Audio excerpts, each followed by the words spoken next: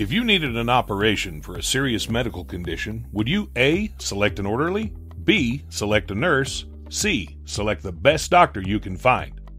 Of course, you would select the best doctor.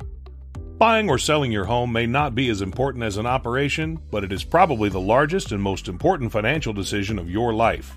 One thing is certain there will be complications. Will you A. select a realtor or a realtor relative of yours? They passed a test. The orderly. B. Select a GRI. They took a few more courses. The nurse. C. Select a CRS, Certified Residential Specialist, the doctors of real estate. To earn that designation, they must have over 10 years' experience, closed at least 150 transactions, and have completed a rigorous CRS curriculum. The choice should be obvious. Contact the CRS at the end of this video for a no obligation interview. You'll be glad you did. Call the doctor now.